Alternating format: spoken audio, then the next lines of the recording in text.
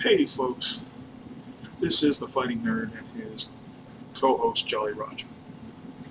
And what I'm going to do today is a knife video about knife misconceptions. And these are the same kind of misconceptions about weapons in general and some guns and guns and things like that. We're going to go talk about knives because knives are kind of my thing. And there's a lot of misconceptions about knives as what they're used for and their relative lethality to each other and are born of ignorance about edged weapons or edged implements in general, even tools. Sadly, this, this ignorance on the part of lawmakers lead to some really, really silly knife laws. Uh, to start off with, let's go back to the bad guy knife. Now, the bad guy knife uh, is uh, a phenomenon. Well, first of all, knife is kind of a knife is kind of a bad guy weapon. You know, in all the old westerns, you know, you and oh, it's a term in general, but used in the westerns a lot. The backstabber, right? Because only bad guys would use a knife and stab somebody in the back. I wouldn't tell that to like British commandos or any of the special ops guys. But you know, as opposed to you know, a gun, which seems honorable, or even a sword, which is the symbol of honor in a lot of cultures. Knives are the bad guy weapons, or they're the last resort of the good guy, right? When he has to do a bad thing in order to win. Dirty Harry with a switchblade, right? They say it's a, his boss says it's a disgrace that a police officer knows how to use a weapon like that. Of course, it does save Harry's life in, that movie. But Switchblade, really through the 30s, 40s, and 50s, on, in movies and later TV, the Switchblade was the bad guy knife. I don't have one of those. I had a really cheap one that I think I gave away. I was never a fan, uh, a fan of switchblades. I never trusted their locking mechanism. Their blades were usually kind of thin and weak. But they were the bad guy knife. You know, gang members in West Side Story and you know, all the Edward G. Robinson gangster movies, right? Because who would want a knife that you could open with one hand just by touching a button? Now, uh, from what I understand, and there are I'm sure that there are experts out there that might be able to correct me on this. But it was made, it made, it, made as a tool, you know, that, you know, or I, when I understand fishermen who needed something they can open one-handed while dealing with lines and nets on fishing boats. I may be wrong about that. That may just be legend. But the point is, only bad guys use switchblades, and that was the symbol of a bad guy with a knife. Was almost cliche. And that was really up until like the 60s, all through the 70s in a lot of ways. And then the 80s came along, and you got one of these. The old Balisong, the butterfly knife. And this was the bad guy knife of the 80s. This is what was used at Menace, Magnum PI, and members of the A-Team and MacGyver. And, you know, it is exotic. You can open it really cool. This, that's the only trick I know with this. I'm not a fan of the Balisong either. They're cool. This is the only one I have. They look cool. This one is particularly pretty. It's got that nice pakkawood. But not something I would carry every day. But and it's not really particularly good as a personal protection tool. It doesn't have a handguard. The locking mechanism is good. But even if you open it simply with one hand, uh, it's really faster just to flip something open or flip, uh, flip a something, uh, knife open with a liner lock or a model lock or something like that. Just hit the stud or the fob disc and flip it open and there you go. But this was the bad guy knife. And it quickly became illegal in a lot of places. Now the reason for that was, one of it was that people would get one of these things and not have the sense to find a trainer or at least take a grinder and dull the edge before they started practicing the little trips and spinning and flips and spins and whatnot. And they were coming into the uh, emergency rooms a lot with their hands sliced to pieces because the knife was evil. It wasn't that they were stupid and were doing complicated tricks requiring a lot of manual dexterity with a sharp blade. It was the knife's fault. Right. And today, what we have in the terms of the bad guy knife, at least as I think it's becoming so, is the karambit. Again, it's exotic. You can do little flips and extensions with it. And you hold it funny. Right? You can't do a Norman Bates with it like that, but you can slash with it. Right? And you see a lot of bad guys. There was a, a really, really uh, awful television show that they spun off of the old 80s movie Time After Time. No, no. So, well, anyway, or H.G. Wells. I can't, I really can't remember what the name of that movie was, but Malcolm McDowell was in it.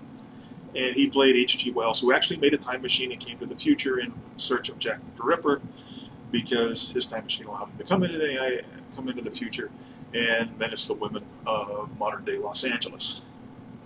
Now, in the modern day remake that was on a few months ago, the Ripper used a karambit because it's a bad guy knife. It looks strange, right? And you can do strange stuff with it. And in a lot of places, these are being made illegal. Right. My question is why? Well, karambit is nothing but a fighting knife. True. But does it really make it any deadlier than a kitchen knife?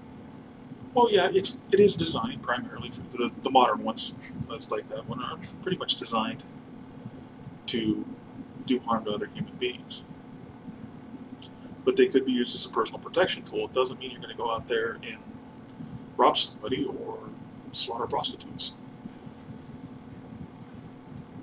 It's a cutting tool. It has an edge, it has a tip, it has a handle, and it will cut.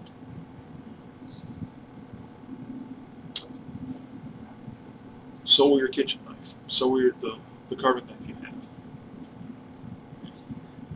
So will your paring knife if you have it sharp. And so will that little case penknife that you keep in your pocket. And my point is that because these types of knives look exotic, and yeah, you can open them with one hand, and you can do the flips and everything like that, they freak people out. And there's no reason for that.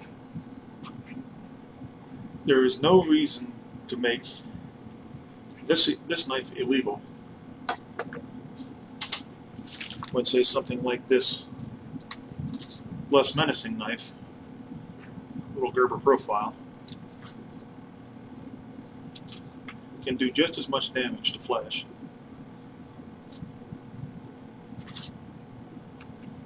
as the Balisong. The butterfly knife, this isn't actually a Balisong, as the karambit or as the switchblade. And that's just what's essentially true. Okay, you have this buck hunting knife. Looks like knife. People are used to seeing this, at least in my area. I know there are people that carry something like this openly on their belt all year round. Nobody bats an eye. But this this is buck 11.95. Wow, nice little knife. Uh, little knife trivia. This is, I'm pretty sure this is the one that knife left, that Chuck Norris left embedded in the chest of a Vietnamese soldier in the first Missing in Action movie, and I was freaking out that he left a beautiful knife in the guy's chest and just kept going. Nice knife. Go get your knife. But this is a hunting knife that most people, that's a hunting knife. As long as you don't uh, use it uh, to commit mayhem, or at least unjustified mayhem, nobody bats an eyelash. But it will carve up flesh as surely as This will. And as surely as this will. Now, we have this nice conventional hunting knife. And then you have this, this. Right? This is kind of an Indo, Indo-Persian inspired knife. But if you showed most people this knife, they would freak out with it. One, it does kind of look Middle Eastern, and people have a little bit uh, paranoid, are a bit paranoid about this East, uh, East, people from the Middle East right now. But also, it is not what people normally consider an everyday knife. It's about the same size as the buck.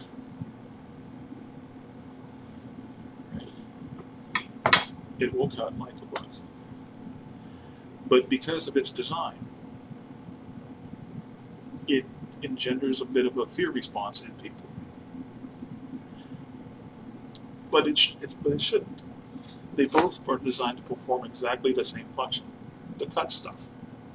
There is no reason to make this illegal, and this isn't, but I'm using it as an example, of course. There is no reason to make this illegal, and there is this illegal. But there are some ignorant people, sadly, that hold government positions, government titles, or positions in government, that would look at this thing and flip out.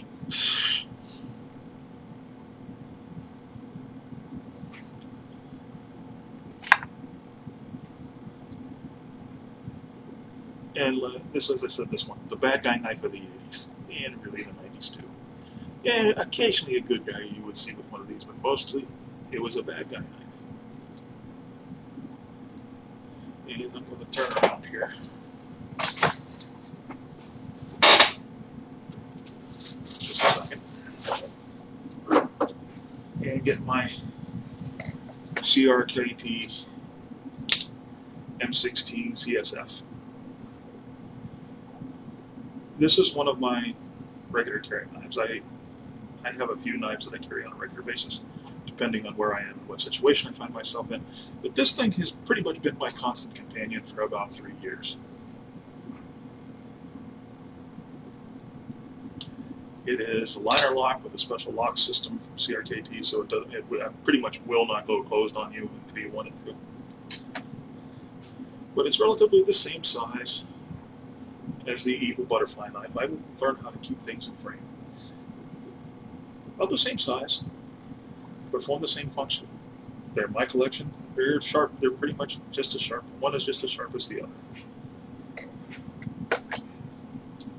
But this one, aside from its being a rather large folder, is legal to carry in most states, uh, except if they have places that have like a three-inch law. But in many places, this is legal to carry. And this is why? Because you can do this with it and flip it around. Like I said before, people were stupid, didn't know enough to either dull the blade out before they started playing with it like that, or they couldn't do it, and they did want to get a trainer, and they cut themselves. And they blame the knife and not the stupid idiot that played with a sharp blade and tried to flip it around like he was Jackie Chan. Now this knife, because of its flippers, opens faster. You don't have to do all this. It's got a better locking mechanism. It's got this nice handguard, so it's safer. But it is legal to carry this in more places than it is this. Now there are some places, like the People's Socialist Republic of New York, where anything that might be used for personal protection is illegal because they want all their citizens to be helpless before violent criminals.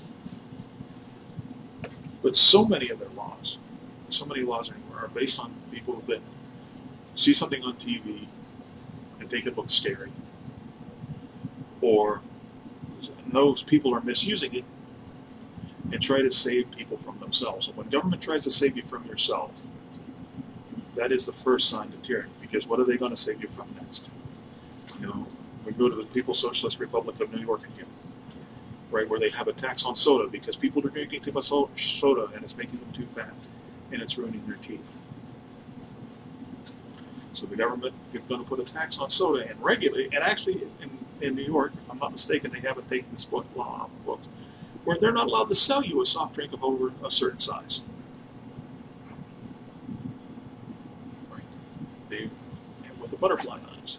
You might be used to protect yourself, but you can also just flip it around. They might be cutting yourself, and they're scary looking. You just don't need one of these. We're going to save you from yourself. And it is, again, it's based on ignorance.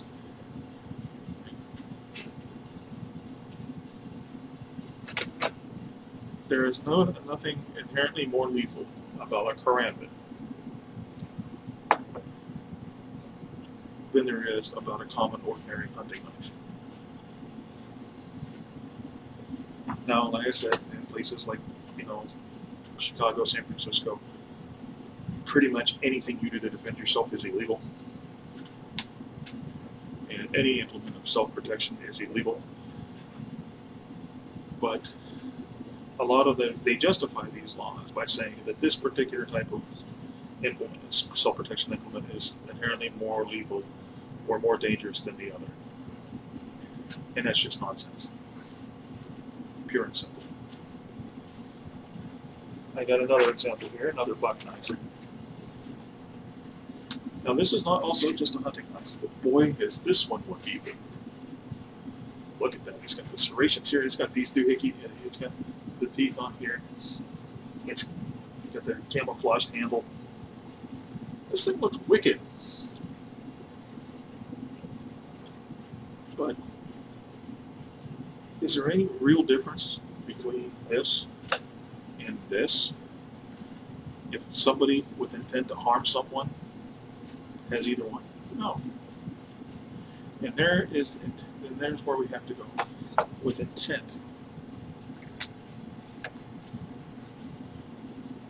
Any edged weapon, from a box cutter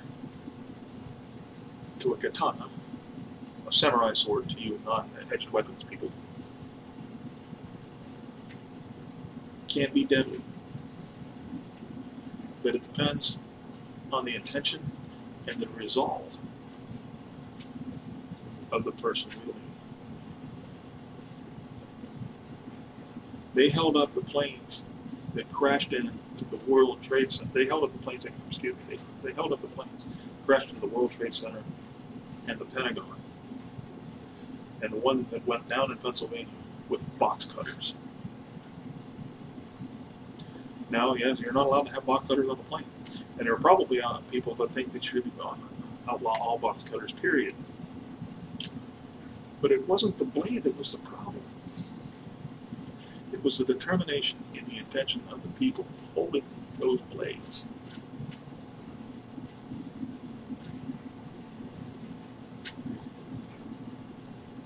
And I have touched on this in other videos for other subjects, but it is more and more evident to me every day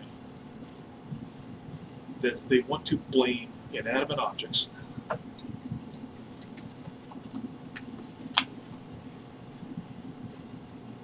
instead of taking and having people take personal responsibility for their own actions. With the gun debate,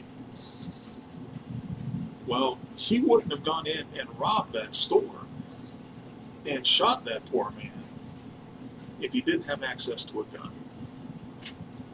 That is the thinking. If you take the guns away, nobody's going to rob any more 7-Elevens. Well, of course, that's idiotic, but that's the basis of the idea of controlling guns. What would happen if tomorrow you magically made all the guns disappear? People would be robbing 7-Elevens with knives. And there would be some people in those 7-Elevens defending themselves with knives or other edge weapons or swords. There's a video on the internet. Some guy comes up with a great big, huge monster Shamshir-like sword when somebody tries to rob it. Right? And then you could make all the guns, I mean, excuse me, all the knives and edged weapons disappear the day after that. What happens? Somebody's going to be robbing a store with golf, uh, or people are going to be robbing stores with golf clubs and baseball bats. criminals are the problem. People with bad intentions are the problem. Then what's not the problem are the implements they use. I have over 60 knives in my collection. I have been stupid on occasion and cut myself while playing with my knives. That's kind of a hazard when you're a knife collector. It just comes with the territory. But not once has any of my knives whispered to me and say, let's go stab somebody. I want to stab somebody. Take me out to stab somebody. Not once has any of my knives let's go out and rob a store together. The only way either of those events going to happen is if I decide, or someone else, if I decide to take some piece out of my collection and go do some harm, or somebody steals my knives, one of my knives, and goes to do some harm. So whenever you see the bad guy knife on television, or the bad guy who just likes using knives, you have to remember that no implement, no tool, whether it's a personal protection tool or a mechanics tool, is inherently good or bad.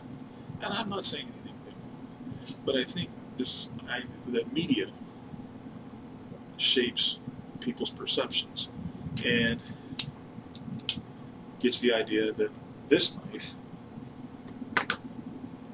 this knife is evil, and this knife isn't.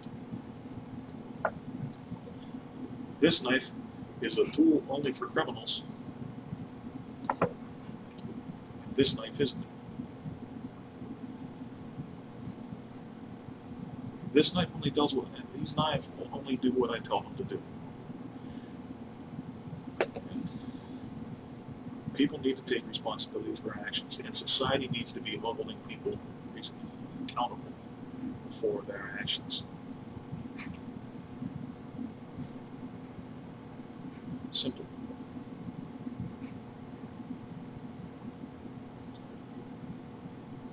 I, I, I don't really don't understand the argument of someplace making this knife illegal because you can open it one-handed and it looks exotic. But this one doesn't look so exotic. It opens faster. It's perfectly fine. It makes no sense. Texas has the right idea. There are no legal, they just recently passed a law. All knives in Texas are legal. They're legal until you do something that's illegal using that. And that's something we need to do nationally. I usually don't like to see federal law supplant state and local, but this is a case where it's, it's necessary. Because for knife guys, for knife owners, you never know what you're doing. Here in Ohio, almost every city and every municipality has a different law about knives. You could be in Canton, Ohio, and the knife you have in your pocket, whatever it may be, may be perfectly legal there. You drive 20 minutes into Akron, and the knife you're carrying is illegal. Then you go up into Cleveland, you have all the suburbs, near Cleveland, you have all the suburbs like Parma and Alliance and Independence or wherever. Every one of them has a different knife law. How are you supposed to keep up with that? You can't. So bottom line, folks, just because it's a bad guy knife on TV and it doesn't look like a normal knife doesn't make it bad. A knife is as good or as bad as the person holding it, just like a gun, just like a golf club. Or for that matter, a scalding hot cup of coffee. What happens if somebody just decides to throw a scolding hot cup of coffee in someone's face? It's about intention. It's about personal responsibility. Don't be fooled into the whole idea of the evil knife.